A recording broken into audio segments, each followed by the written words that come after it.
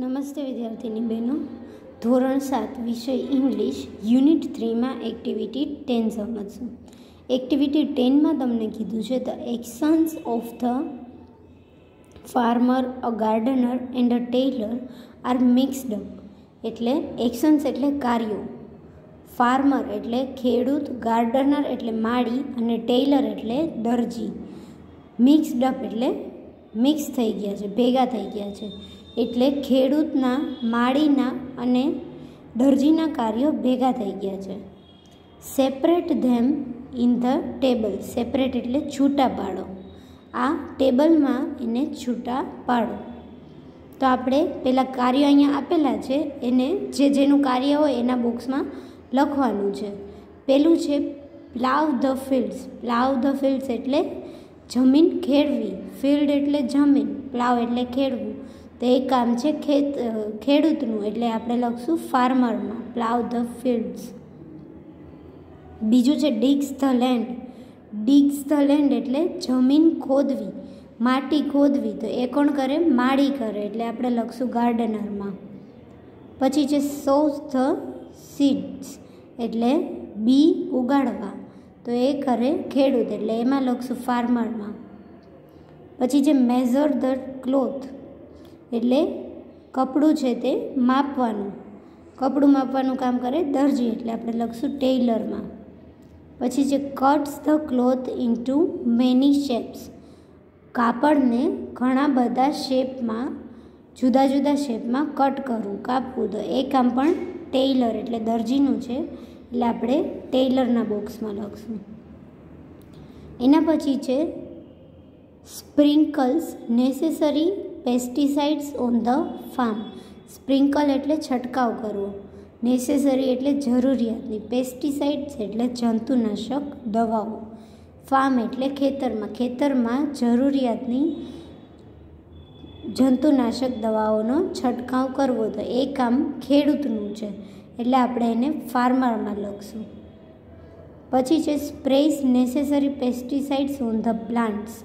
Plants એટલે છોડ ઉપર. જરૂરિયાતની જંતુનાશક દવાઓ સ્પ્રે કરે છે. તો એક પ્લાન્ટ ઉપર કોણ કરે? ગાર્ડનર. માળી કરે. એટલે આપણે ગાર્ડનરના બોક્સમાં લખશું.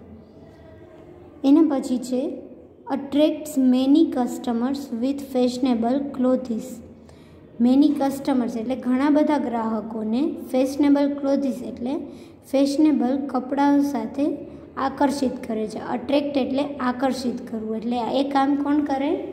દરજી કરે. એટલે આપણે એને લખશું ટેલરમાં attracts many customers with fashionable clothes એના પછી છે make a makes a beautiful garden એક ખૂબ જ સરસ મજાનું બગીચો બનાવે છે. તો બગીચો કોણ બનાવે? માળી બનાવે. એટલે આપણે એને લખશું ગાર્ડનરમાં મેક્સ અ બ્યુટિફુલ ગાર્ડન પછી છે gets a good crop gets a good crop એટલે સારો પાક મેળવવો. ક્રોપ એટલે પાક. તો એ કોને મળે? ખેડૂતને. એટલે આપણે લખશું ફાર્મરમાં ગેટ્સ અ ગુડ ક્રોપ. એવી જ રીતે ક્વેશ્ચન નંબર બીમાં પણ તમને કીધું છે, ચાર ચારના જૂથ બનાવો અને તમારી શાળાના રિસેસ ટાઈમ દરમિયાન કોણ શું કરે છે તે લખો અને નીચેના શબ્દ સમૂહનો ઉપયોગ કરી શકો છો. ચાર ચારના ગ્રુપ બનાવવાના અને પછી આ ચાર વસ્તુ, આ ચાર ટેબલમાં, શાળામાં રિસેસના ટાઈમમાં આ ચાર લોકો શું કરે છે એ લખવાનું. જેમ કે પેલું છે બોયસ તો બોયસ રિસેસ ટાઈમમાં શું કરે? એ લખવાનું. પછી ગર્લ્સ. તો ગર્લ્સ છોકરીઓ રિસેસના ટાઈમમાં શું કરતી હોય છે? એ લખવાનું. ટીચર્સ.